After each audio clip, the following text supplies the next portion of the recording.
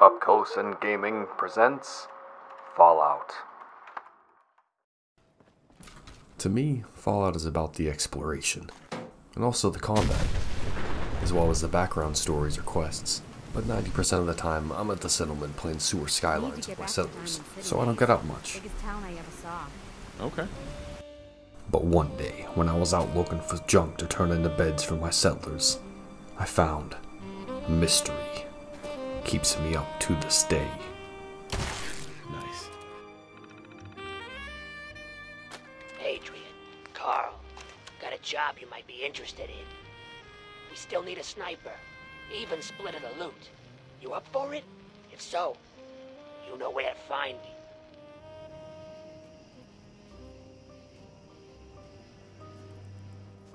Something just seemed off. What would compel a man to leave his home, his weapon, just to go downstairs and be eaten alive by roaches? I had to get to the bottom of it. But it would be a long journey. And during it, tragedy struck. I lost a dear friend. But you know, sometimes life goes on, and you find something that makes the load a little bit easier to bear.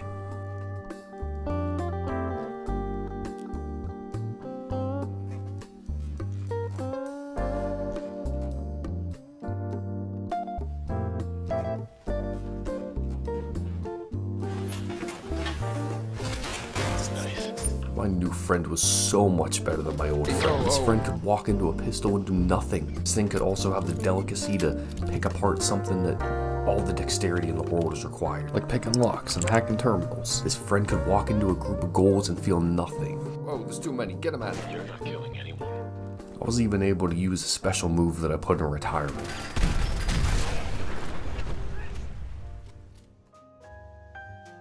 But alas, I had been distracted from my true purpose, and it was time I got what I came here for. Welcome to the Treasures of Jamaica Plain.